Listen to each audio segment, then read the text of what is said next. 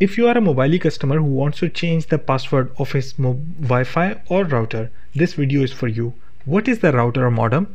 Router or modem is the device which you can see on your screen right now. So changing the password of, of router or modem is different from changing the Wi-Fi uh, password. We have explained it in this video. In order to change the password of Mobily Wi-Fi or router, first you need to make sure that you are connected with the same Mobily Wi-Fi or modem. So I have made sure that I'm connected with Vahib which is Mobily Wi-Fi. Now open your Google browser and write 192.168.1.1 in your Google browser in your Chrome and then enter the username and password. The username and password the default username and password is admin and admin. Right now I'm entering both of them. So in first we will change the Mobily router password. So in order to change the Mobily router password uh, I will explain you. You will have to click on management you know this device name management here.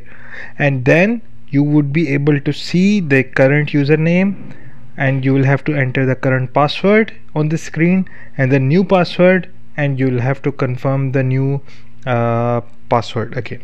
So I, am going to write all these details.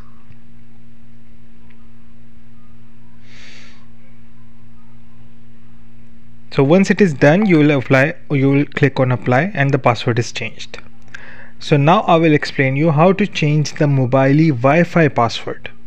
So go back to the main screen.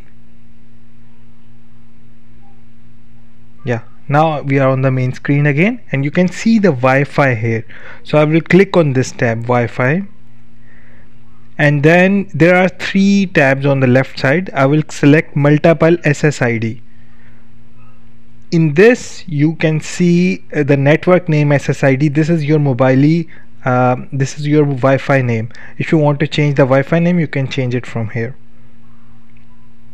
And then if you go if you scroll down a little bit you would be able to see key passphrase. This is your Mobily password. You want to change it you can click here and change the password write the new password and then click on apply button and your Mobily Wi-Fi password will be changed